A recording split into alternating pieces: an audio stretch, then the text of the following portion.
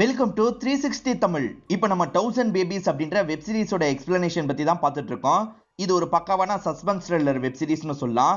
Already இதில் ஒரு பார்ட்டை நம்ம எக்ஸ்பிளைன் பண்ணியிருக்கோம். அதை பார்த்துட்டு இந்த வீடியோவை பார்த்தா தான் கதை உங்களுக்கு கிளியராக புரியும். இது வரைக்கும் அந்த வீடியோவை பார்க்கலன்னா நான் லிங்க் கொடுக்குறேன். அது மூலியமா கண்டிப்பாக அந்த வீடியோவை பாருங்க. மேற்கொண்டு இந்த வீடியோவை கண்டினியூ பண்ணுங்க. எக்ஸ்பிளனேஷனுக்குள்ள போகிறதுக்கு முன்னாடி இந்த வீடியோக்கு ஒரு லைக்கை போடுங்க. அது மூலியமா இந்த வீடியோ இன்னும் நிறைய பேர்கிட்ட கொண்டு போய் சேர்க்கப்படும். மேற்கொண்டு டைம் வேஸ்ட் பண்ணாம நம்ம நேரடியா படத்தோட ஃபுல் எக்ஸ்பிளனேஷனுக்குள்ள போயிடலாம் நான் பிப்பினை கண்டுபிடிச்சிட்டா அடுத்து என்ன பண்ணுவீங்கன்ற மாதிரி அஜி கேட்டாரு பாத்தீங்களா? அதுக்கு காரணம் என்னன்னா பிப்பின் கோர்ட்ல இந்த மாதிரிலாம் நடந்ததுன்றதை எக்ஸ்பிளைன் பண்ணிடுவார்ல அதுக்கான காரணத்தை தான் கேட்டிருப்பாரு. முதல்ல பிப்பினை பிடிப்போம் அதுக்கப்புறம் என்ன பண்றதுன்றத பத்தி யோசிப்போன்ற மாதிரி இவங்க மூணு பேருமே அஜி கிட்ட சொல்றாங்க. இப்ப அஜி இருக்கார்ல ஹாஸ்பிட்டல்ல கொஞ்சம் பதட்டமா உட்காந்துருக்காரு காரணம் இவரோட ஒய்ஃப்க்கு ஆபரேஷன் நடந்துட்டு இருக்கு இவரோட ஒய்ஃப்க்கு குழந்தை பிறந்திருக்கு அப்படின்ற மாதிரி சொல்றாங்க. பெண் குழந்தை தான் பிறந்திருக்கு அப்படின்ற மாதிரி நர்ஸும் கொண்டு வந்து காட்டுறாங்க. ஒன்ன மாதிரியே இருக்கு அப்படின்ற மாதிரி ஃபேமிலி மெம்பர்ஸ்லாம் சொல்றாங்க. இவருக்கு இப்ப மைண்டுக்குள்ள அந்த சாராவோட ஞாபகம்லாம் வருது. இவருமே கொஞ்சம் அன்னீசியா இந்த இடத்துல ஃபீல் பண்ணிட்டு இருக்காரு அப்பதான் ஒரு ஆபீசர் கிட்ட இருந்து இவருக்கு ஃபோன் கால் வருது. ஆக்சுவலா அந்த மூணு பேர் இருக்காங்கல்ல சீக்கிரட்டாக ஒரு ஆப்ரேஷன் பிளான் பண்ணுங்கன்ற மாதிரி சொல்லியிருப்பாங்க. அதுக்காக தான் இவர் டீமில் ரெண்டு மூணு பேரை சேர்க்கிறாரு இவங்க மூணு பேரை வச்சு இந்த கேஸை விசாரிக்கணும் அப்படின்ற மாதிரிலாம் யோசிக்கிறாரு அந்த சாரா லெட்டரில் குழந்தைய மாற்றி வச்சேன்னு மட்டும்தான் எழுதியிருப்பாங்க. ஆனால் நவாஸ் அந்த இடத்துக்கு போய் பார்த்தாரு பார்த்தீங்களா நிறைய அட்ரஸ் எழுதி வச்சிருக்கிறதுலாம் தெரிஞ்சிருக்கும். அந்த அட்ரஸ் எல்லாத்தையும் அந்த டைமில் ஃபோட்டோவாக எடுத்திருப்பாரு. ஸோ இவங்க கிட்ட எந்தெந்த குழந்தை எந்தெந்த இடத்துக்கு மாறுச்சுன்ற டீட்டெயில் கூட தெளிவாக தெரியும். அதெல்லாம் தாண்டி அஜி இப்போ முக்கியமாக ஒரு விஷயத்தை தான் தெரிஞ்சுக்கணும்னு நினைக்கிறாரு. ஆக்சுவலாக மீராக்கு அந்த பிபின் மூணு வாட்டி லெட்டர் போட்டிருக்கான் பார்த்தீங்களா அதுல மூணாவது வாட்டி தான் ஆன்சி பத்தி வந்திருக்கும். இதுக்கு முன்னாடி ரெண்டு லெட்டர் வந்திருக்கும். அதை பெருசா அவங்க எடுத்திருக்க மாட்டாங்க. அந்த ரெண்டு பேருமே இறந்து போயிருக்க வாய்ப்பு இருக்குன்ற மாதிரிலாம் இவர் யோசிக்கிறாரு. அந்த ரெண்டு லெட்டர்ல யார பத்தி டீட்டெயில் இருக்கு? அவங்கள பத்தி நம்ம விசாரிக்கணும். அவங்க இறந்து போயிருக்க கூட வாய்ப்பு இருக்குன்ற மாதிரி டீம்ல இருக்க ரெண்டு பேர் கிட்ட சொல்லிட்டு இருக்காரு. இப்போ அவங்க டீட்டெயிலாக இவங்க கலெக்ட் பண்ணிட்டு இருக்காங்க ஒருத்தங்க ஒரு காலேஜில் ப்ரொஃபஸராக இருந்திருக்காங்கன்றது தெரிய வருது. ஹஸ்பண்ட் ஒய்ஃப் ரெண்டு பேருமே ப்ரொஃபஸராக இருப்பாங்க. அங்கே போய் விசாரிக்கணும் அப்படின்ற மாதிரி இவர் சொல்லிட்டாரு. அசிஸ்டண்ட்டுங்களும் சரின்ற மாதிரிலாம் இந்த இடத்துல ஏற்றுக்கிறாங்க இந்த சாரா பிபினை மாற்றி எடுக்காம இருந்திருந்தா பிபின் ஒரு இடத்துக்கு போயிருக்கணும் பார்த்தீங்களா அந்த வீட்டை பற்றி தான் இவங்க விசாரிக்க போகிறாங்க இப்போ ஒரு ப்ரொஃபஸரை பற்றி உங்களுக்கு தெரிய வந்ததுல அந்த ப்ரொஃபஸரை பற்றி விசாரிக்கிறதுக்காக வராங்க. ஆனா அவர் பல வருஷத்துக்கு முன்னாடியே பெங்களூருக்கு கிளம்பி செட்டில் ஆயிட்டாரு அப்படின்ற மாதிரி அங்க இருக்க ஒரு சொல்லிட்டு பெங்களூர்ல எங்க இருக்காருன்னு தெரியுமா அப்படின்ற மாதிரிலாம் இவர் கேட்டுட்டு இருக்காரு. எங்க இருக்காருன்னு தெரியாது. ஆனா அவரோட நம்பர் என்கிட்ட இருக்கும். அதை தேடி பார்த்து உங்களுக்கு சொல்றேன்ற மாதிரி சொல்லிட்டாரு. அது போதும்ன்ற மாதிரி இந்த அசிஸ்டன்ட்டும் தகவல்லாம் சேகரிச்சிடுறாரு. இப்ப பெங்களூர்ல இருக்க ஒரு பகுதியை நமக்கு காட்டாங்க அந்த பெரியவர் இருக்காரு பாத்தீங்களா? தம்ம வாங்கி ஒரு இடத்துல அடிச்சிட்டு இருக்காரு. அப்ப இந்த அசிஸ்டன்ட் அந்த இடத்துக்கு வந்து இவர்கிட்ட பேச ஆரம்பிக்கிறாரு. சரி என்ன ஞாபகம் இருக்கா? நான் அந்த காலேஜ்ல உங்களுக்கு கீழே தான் படிச்சேன்ற மாதிரி சொல்லிட்டாரு. இல்லையப்பா ஞாபகம் இல்ல அப்படின்ற மாதிரி அவரும் சொல்லிட்டாரு. இப்ப அசிஸ்டன்ட் அஜி அண்ணா இங்க வாங்கன்ற மாதிரி அஜியும் பக்கத்துல கூப்பிடுறாரு. அஜி அண்ணனும் அந்த காலேஜ்ல தான் படிச்சாரு அப்படின்ற மாதிரிலாம் சொல்லிட்டாரு. உங்க ரெண்டு பேரையும் எனக்கு அடையாளம் தெரியலப்பா. ரொம்ப வருஷம் ஆயிடுச்சுல அதனால தான் தெரியல அப்படின்ற மாதிரி சொல்லிட்டாரு. எங்களால இன்னும் மேடத்தை கூட மறக்க முடியல. மேடத்தை பார்க்க முடியுமான்ற மாதிரி கேக்குறாங்க. என்னப்பா இப்படி கேக்குறீங்க? வாங்கப்பா வீட்டுக்கு போலாம் அப்படின்ற மாதிரி அந்த பெரியவர் சொல்லிட்டாரு. இவருமே பெரியவரை ஃபாலோ பண்ணி வீட்டுக்கு வந்துடுறாங்க. அந்த மேடம் இருக்காங்க பாத்தீங்களா சின்ன சின்ன பசங்களுக்குலாம் கிளாஸ் எடுத்துட்டு இருக்காங்க. அவள் டியூஷன் எடுத்துட்டு இருக்கா இப்ப டிஸ்டர்ப் பண்ண வேணாம் அப்புறமா பேசிக்கலாம் அப்படின்ற மாதிரி பெரியவர் சொல்லிட்டாரு. இவங்களுமே சரின்ற மாதிரி ஏத்துக்கிறாங்க. இந்த பெரியவர் இவங்களுக்காக டீலாம் ரெடி பண்ணிட்டு இருக்காரு இவங்க நார்மலா பேசிட்டு இருக்காங்க இவருக்கு ஒரு பொண்ணு இருக்கிறது இவங்களுக்கு தெரியும். அந்த பொண்ணு ஸ்வப்னாவை பத்தி கேக்குறாங்க. ஸ்வப்னாவை பத்தி கேட்டோன்னே இவரோட முகமே டோட்டலா மாறிடுது. என்ன இவர் ஃபீல் பண்றாரு அப்படின்ற மாதிரிலாம் இவங்க யோசிச்சுட்டு இருக்காங்க இவரும் மாடிக்கு போய் பேசலான்ற மாதிரி கூட்டு வந்துடுறாரு. ஆக்சுவலா இவரோட பொண்ணு சொப்னா இருக்காங்க பாத்தீங்களா? ஒன்பது வருஷத்துக்கு முன்னாடி இறந்து போயிருப்பாங்க. மீரா இதுக்கு முன்னாடியே எனக்கு லெட்டர் வந்ததுன்னு சொன்னாங்க பாத்தீங்களா? அதுல சொப்னாவை பத்தின டீடைல் தான் வந்திருக்கும். சொப்னா இறந்து போயிருக்க தான் வாய்ப்பு இருக்குன்றது அஜிக்கு நல்லா தெரியும். இப்ப அது கன்ஃபார்ம் ஆயிருச்சுல எப்படி இறந்து போனாங்க அப்படின்ற மாதிரி கேக்குறாரு. இந்த ப்ரொஃபஸரும் சொல்ல ஆரம்பிக்கிறாரு. சொப்னாவை பொறுத்த வரைக்கும் ஒரு கம்பெனியில வேலை பார்த்துட்டு இருந்திருப்பாங்க. ஒரு பார்ட்டியில அவங்களுக்கு நெஞ்சு வலி வந்து தான் இறந்து போயிருப்பாங்க. கார்ல தான் இறந்து போயிருந்தா அப்படின்ற மாதிரிலாம் அப்பா சொல்லிட்டு இருக்காரு குழந்தெல்லாம் மாறி இருக்கு பாத்தீங்களா? அதை பத்தி யாருக்கும் தெரியாம தான் இந்த கேஸை இவங்க ஹேண்டில் பண்ணிட்டு இருக்காங்க அதனால ரொம்ப நோண்டி நோண்டிலாம் இவங்க கேள்வி கேட்க முடியாது. அப்பா கிட்ட விசாரிச்ச வரைக்கும் போதும்ன்ற மாதிரி இங்க இருந்து சைலண்டா கிளம்பிடுறாங்க. இங்க இருக்க லோக்கல் ஸ்டேஷன்ல போய் அந்த கேஸை பத்தி விசாரிக்கணும்னு யோசிக்கிறாங்க. ஏன்னா அவங்க நெஞ்சொலினால இறந்து போயிட்டாங்கன்னு கேஸை முடிச்சிருப்பாங்கல்ல அதை பத்தி தெரிஞ்சுக்கணும்னு நினைக்கிறாங்க. அதை நாங்க கேஸா ஃபைல் பண்ணோம். ஒன்பது வருஷத்துக்கு முன்னாடி நடந்தது. ஒன்பது வருஷத்துக்கு முன்னாடி நடந்தது இல்ல ரெக்கார்டை தேடுறதுக்கு டைம் ஆகும். கொஞ்சம் வெயிட் பண்ணுங்க அப்படின்ற மாதிரி அங்க இருக்கவர் சொல்லிட்டாரு. இப்ப அசிஸ்டன்ட் ஒருத்தர் தான் அந்த ரெக்கார்ட்லாம் தேடி பார்த்துட்டு இருக்காரு. கிடைச்சிருச்சு அப்படின்ற மாதிரி இவங்க ரெண்டு பேரையும் கூப்பிட்டு காமிச்சிட்டு இருக்காரு. ஆக்சுவலா அவங்க கார்டியாக் அரஸ்னால தான் இறந்து போயிருக்க மாட்டாங்க. ட்ரக்ஸ் ஓவரா எடுத்திருப்பாங்க. ஓவரா எடுத்ததுனால மூக்குல இருந்து ரத்தம்லாம் வந்திருக்கும். அப்படிதான் இறந்து போயிருக்காங்க அப்படின்ற மாதிரிலாம் காமிச்சிட்டு இருக்காரு. அப்போ இதெல்லாம் சொன்னால் அசிங்கம் இல்லை அதனால தான் சொல்லாம கார்டியா கரஸ்ல இறந்து போயிட்டான்ற மாதிரி சொல்லியிருப்பாரு. ஆனா இவங்களுக்கு உண்மையான காரணம் என்னன்னு தெரிஞ்சிருது. ரொம்ப மோசமான ட்ரக் எடுத்து இறந்து போயிருக்காங்கல்ல. ஒரு பார்ட்டியில வச்சுதான் இந்த ட்ரக் எடுத்து இறந்து போயிருப்பாங்க. சோ தீவிரமா விசாரணை பண்ணோம் அப்படின்ற மாதிரி ஒரு லேடி டீம் எல்லாம் ஃபார்ம் பண்ணி விசாரணை பண்ணிருப்பாங்க அந்த லேடியை பார்த்து பேசலாம் அப்படின்ற மாதிரி அஜியும் அசிஸ்டண்ட்டும் வந்துடுறாங்க. அந்த லேடியும் நடந்த விஷயத்தெல்லாம் எக்ஸ்பிளைன் பண்ணிட்டு இருக்காங்க. அது சரி இப்ப எதுக்காக இந்த கேஸை பத்தி விசாரிக்கிறதுக்காக வந்திருக்கீங்கன்னு கேக்குறாங்க. இவர் நேரடியான காரணத்தை சொல்ல முடியாதுல்ல? ஒரு பெரிய ட்ரக் செயினுக்கும் இந்த சம்பவத்துக்கும் சம்பந்தம் இருக்கிறதா நாங்க நினைக்கிறோம். அதை பத்தி விசாரிக்கிறதுக்காக தான் வந்திருக்கோன்ற மாதிரி அஜியும் ஒரு காரணத்தை சொல்லிடுறாரு. ஆக்சுவலா அந்த பொண்ணோட ஃப்ரெண்ட்ஸ் நாங்க நிறைய பேர் இருந்திருப்பாங்கல்ல? நீங்க விசாரணை எல்லாம் கூட பண்ணிருப்பீங்கல்ல?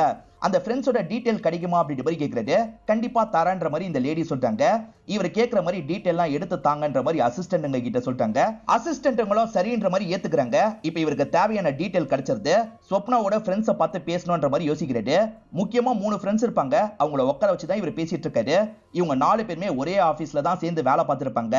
போலீஸை பார்த்து பயப்படாதீங்க. இது ஒரு சாதாரண விசாரணை தான்.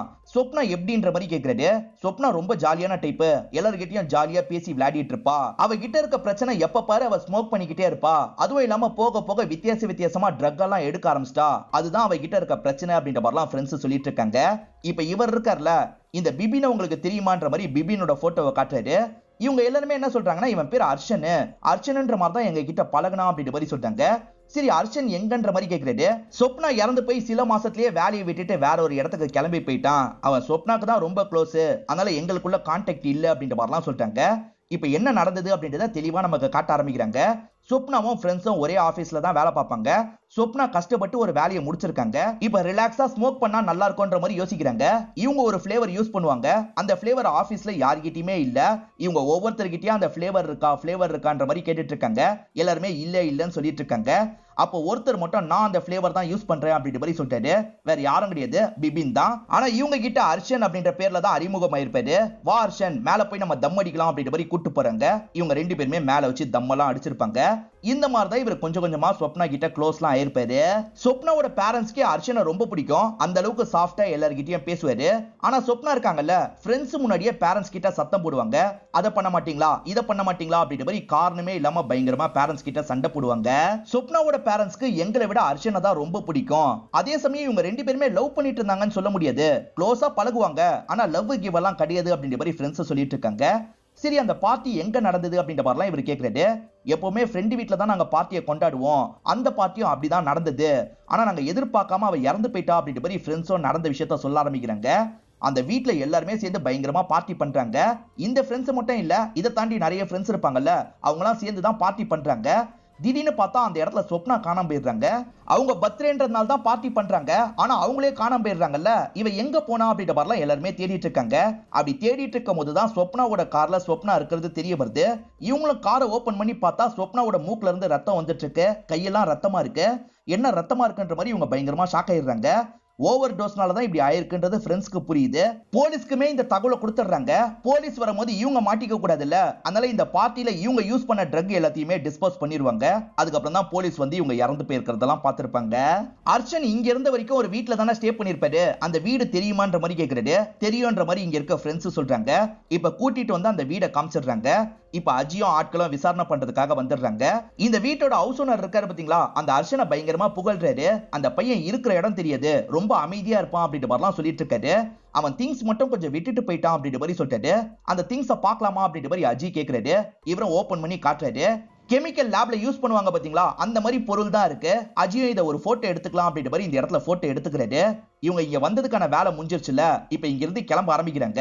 அப்ப அசிஸ்டன்ட் கூட டிஸ்கஸ் பண்ணிக்கிட்டே தான் அஜி போயிட்டு இருக்காரு இந்த பிபின் சும்மா ஒன்னும் சொப்னா கிட்ட பழகல. சொப்னா ஓவர் டோஸ்னால இறந்து போயிருக்க வாய்ப்பு இல்ல. இவன் தான் கண்டிப்பா சொப்னாவை ஏதாவது பண்ணிருக்க வாய்ப்பு இருக்கு அப்படின்ற மாதிரி சொல்லிட்டாரு. இவன் லிஸ்ட்ல அடுத்து இருக்க நபரோட பேரு தேவன் அப்படின்றது. தேவனும் இறந்து போயிருக்க தான் அதிக வாய்ப்பு இருக்கு. இந்த கேஸ்ல பிபினை ரீச் பண்ண முடியல. தேவன் கேஸை வச்சு பிபினை ரீச் பண்ண ட்ரை பண்ணோன்ற மாதிரி சொல்லிட்டாரு இங்க தான் ஃபோர்த் எபிசோட் முடியுது. இப்ப டீம் கிட்ட திரும்பி இவர் பேசுறத நமக்கு காட்டுறாங்க. அந்த தேவனை பத்தி உங்களுக்கு தெரிஞ்சிருக்கு. அரசல் பொரசலா தெரிஞ்சிருக்கும். இப்ப தேடி பார்த்ததுனால தான் முழுசா தெரியுது. தேவன் இருக்கார்ல ஒரு பர்டிகுலர் பகுதியில தீவிரமா அரசியல் பண்றவரா இருப்பாரு. இவர் பப்ளிசிட்டிக்காக நிறைய விஷயங்கள்லாம் பண்ணுவாரு. எப்ப பாரு நியூஸ் மீடியால இவரை பத்தி தான் பேசிட்டு இருப்பாங்க. ஆனா இவர் ஒரு பெரிய கான்ட்ரவர்சி பிரச்சனையில மாட்டிப்பாரு. அது என்னன்னு பாத்தீங்கன்னா பீஃபுக்கு எதிராக தான் இவர் நிறைய பேசுவாரு. ஆனா இவரே பீஃப் கறி சாப்பிட்ட மாதிரி ஒரு வீடியோ நெட்ல பரவி இருக்கும். அந்த பரவுனதை தாங்க முடியாம இவர் சூசைட் பண்ணி இறந்து போயிருப்பாரு. இப்படிதான் அவர் இறந்து போனாருன்ற மாதிரி டீட்டெயில் இருக்கு. தேவன் இறந்து போறதுக்கு ஒரு வாரம் முன்னாடியே அவரோட டீட்டெயில்லாம் மீராக்கு வந்திருக்கும். சோ அவன் ஒரு வாரத்துக்கு முன்னாடியே அவர் சாவணுன்றத முடிவு பண்ணிருக்கான் அவரா சூசைட் பண்ணிருக்க கூட வாய்ப்பு இல்ல. இவன் தான் சூசைட் பண்றதுக்கான ஏற்படலாம் பண்ணிருக்கான் எப்படி இதை பண்ணிருக்கான்றதை நம்ம கண்டுபிடிக்கணும் அப்படின்ற மாதிரி சொல்லிட்டு டீமை சேர்ந்தவங்களும் சரின்ற மாதிரிலாம் இந்த இடத்துல ஏத்துக்கிறாங்க. இப்போ நமக்கு முகமது அப்படின்ற ஒரு பையனை காட்டுறாங்க. இவன் ஒரு இடத்துல பீஃப்லாம் சப்ளை பண்றான் போல. இப்ப சப்ளை பண்ணதுக்கு காசை கேட்கறதுக்கு வந்திருக்கான். நாளைக்கு வாங்கிக்கோன்ற மாதிரி ஓனர் சொல்லிட்டு இருக்காரு. என் அப்பா டென்ஷன் ஆயிடுவாரு. காசை தாங்கன்ற மாதிரிலாம் இவன் பேசிட்டு இருக்கான். இந்த முகமதை இவங்க ரெண்டு பேருமே கவனிச்சிட்டு இருக்காங்க. இப்ப அசிஸ்டண்ட்டும் வெளியே வந்து முகமது கிட்ட பேசுறாரு. இங்க நிறைய கடைக்கு நீ தானே பீஃப் சப்ளை பண்றேன்னு கேக்குறாரு. முகமதும் ஆமான்னு சொல்றாரு. நான் போலீஸ் தான். உங்ககிட்ட தனியா பேசணும். வான்ற மாதிரி இவரும் தள்ளி கூட்டு வந்துடுறாரு. அந்த இடத்துல தான் அஜி இருக்காரு. போலீஸை பார்த்தோன்னா பயப்படாத. சாதாரண விசாரணை மட்டும்தான் அப்படின்ற மாதிரி அஜியும் பேச ஆரம்பிக்கிறது நாங்க ஒருத்தனை தேடிட்டு இருக்கோம். அவனை பத்தி உனக்கும் தெரிஞ்சிருக்க வாய்ப்பு இருக்கு. ஆனா எங்களுக்கு தெரிஞ்ச பேர்ல உனக்கு தெரிஞ்சிருக்க வாய்ப்பு இல்ல. இவனை என்ன பேர்ல உனக்கு தெரியும்? சொல்லுன்ற மாதிரி பிபினோட போட்டோவை காட்டுறாரு. இவர் என்ன சொல்றாருன்னா இவனோட பேரு நிசாம் அப்படின்றது. இவன் என்னோட நல்ல ஃப்ரெண்டு அப்படின்ற மாதிரி சொல்லிட்டாரு இவங்க ரெண்டு பேரும் எப்படி ஃப்ரெண்ட்ஸ் ஆனாங்க அப்படின்றத ஒரு பிளாஷ்பேக் மாதிரி நமக்கு காட்டுறாங்க. நிசாம்ன்ற பேர்ல தான் வந்திருப்பாரு.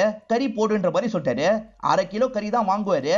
ஆனா தோல் இல்லாம போடு. நிறைய கறி போடு அப்படின்ற மாதிரிலாம் சொல்லிட்டு இருக்காரு.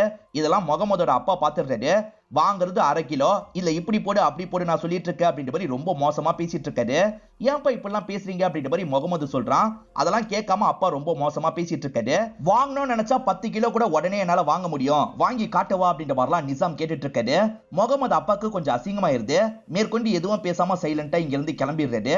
முகமது இருக்கார்ல என் அப்பா எப்பவுமே அப்படிதான். நீங்க கோச்சுக்காதீங்க அப்படின்ற மாதிரிலாம் சொல்றாரு. முகமதை பொறுத்த வரைக்கும் கல்யாணம்லாம் ஆயிடுச்சு அதே மாதிரி ரெண்டு தம்பிங்க இருக்காங்க. அந்த தம்பிங்களை இவர் தான் செலவு பண்ணி படிக்க வச்சிட்டு இருக்காரு அப்பாக்கு இதுல சுத்தமா விருப்பம் இல்ல. அவனுங்களையும் கடைக்கு வர வைக்கலாம்ல. ஏன்டா இந்த மாதிரிலாம் பண்ணிட்டு இருக்க அப்படின்ற மாதிரி முகமதை போட்டு பயங்கரமா திட்டுறாரு. எல்லாரும் முன்னாடியும் திட்டுறாருல முகமதுக்கு ரொம்ப அசிங்கமா போயிருது. முகமது சோகமா கடையை விட்டு வெளியே வரும்போது நிசாம பாக்குறாரு. இப்ப ரெண்டு பேருமே ஒரு இடத்துல உட்காந்து பேசிக்கிறாங்க.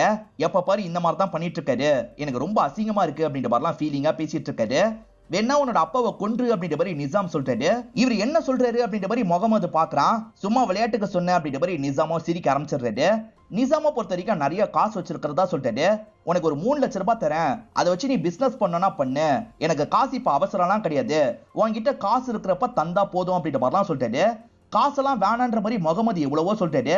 ஆனா இவர் இருக்கார்ல அண்ணன் தந்தா வாங்கிப்பல வாங்கிக்கோ அப்படின்ற மாதிரி தந்துடுறாரு. நிசாம் வேற ஒரு பகுதிக்கு போக போறேன் போட்டோ எடுத்துக்கலாமான்னு கேக்குறாரு. இவங்க எல்லாருமே சரின்ற மாதிரி ஏத்துக்கிறாங்க. இப்ப முகமது ஃபேமிலியோட சேர்ந்த மாதிரி ஒரு போட்டோவை எடுத்துடுறாரு. முகமது கிட்ட தேவைப்படும் போதெல்லாம் கறி வாங்குறதுக்காக தான் க்ளோஸ் ஆயிருக்காரு அப்படின்றது இவங்களுக்கு தெரிஞ்சிருது. அந்த கரியை வச்சுதான் தேவனை மாட்ட வச்சிருக்கான். எப்படி மாட்ட வச்சான்றதை நம்ம தெரிஞ்சுக்கணும் அப்படின்ற மாதிரி யோசிக்கிறாங்க. நேரடியா தேவனோட ஆட்கள் கிட்ட இவங்க விசாரிக்க முடியாது. அப்படி விசாரிச்சாங்கன்னா இந்த ஆயிரம் குழந்தை மாறி இருக்கு பாத்தீங்களா? அதை பத்தி எல்லாம் வெளியே வந்துரும். அது வெளியே வராம சாமர்த்தியமா விசாரிக்கணும் அப்படின்ற மாதிரி யோசிக்கிறாரு. அந்த தேவனுக்கு ஒரு இருபது வயசு இருக்கும் போது அரசியல் ட்ரைனிங்லாம் ஒரு நபர் கொடுத்திருப்பாரு. தேவன் அவரையே ஒதுக்கி வச்சிருப்பாரு. அவரை பார்த்து பேசினா தேவனை பத்தி ஏதாவது தெரிய வரும் அப்படின்ற மாதிரி யோசிக்கிறாங்க. இப்ப அந்த நபரை பார்த்து பேசுறதுக்காக வந்துடுறாங்க. தேவனை பத்தி உங்களுக்கு என்னெல்லாம் தெரியும் அப்படின்ற மாதிரிலாம் கேட்டுட்டு இருக்காங்க.